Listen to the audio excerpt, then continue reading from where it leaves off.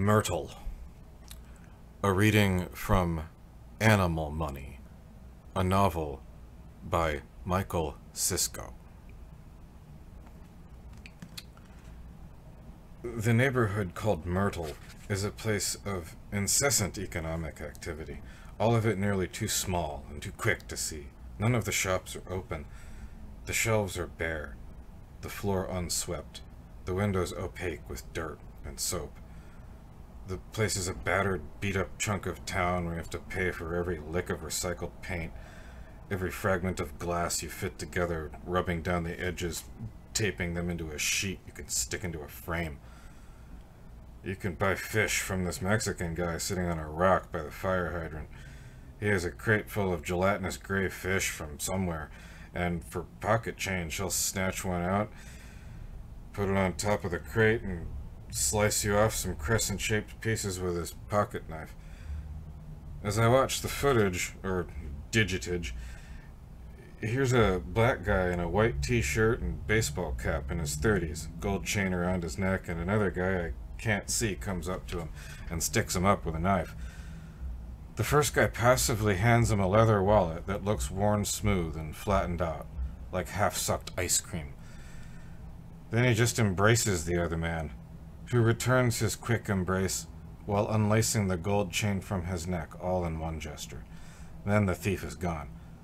The victim just stands there, his face impassive, nothing on his face. Here are some children, haggling. How much for this dollar? One cent. No, this dollar's special. You gotta pay more for this dollar. One dollar, one cent.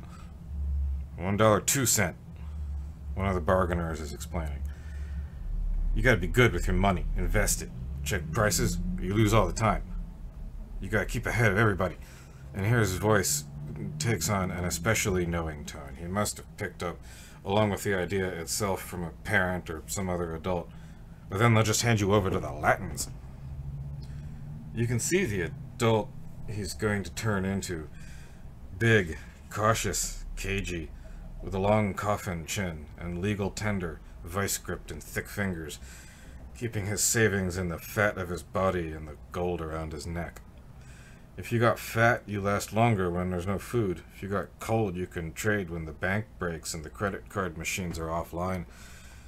The skinny girl is bidding up her dollar.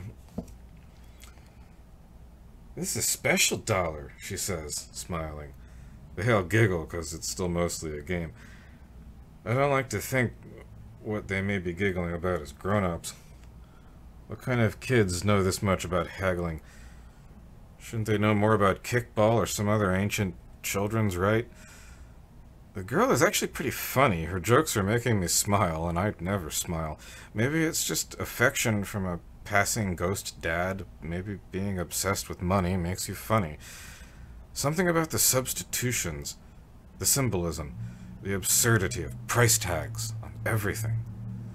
They have to pay to piss proto scam in the work. They have a pay to piss proto scam in the works where they stake out a likely piece of wall near a bar or something and they charge you a penny a second to piss against it. You can piss on the ground for free, but if you want to hit the wall, if you want the sound blur that pissing against an upright surface gives you, you pay by the second, and they watch you do it, too, counting off the seconds at the top of their piping voices. Which might seem to defeat the purpose, but the urinators they target are fucked up enough to regard the shrieked out numbers as cover noise.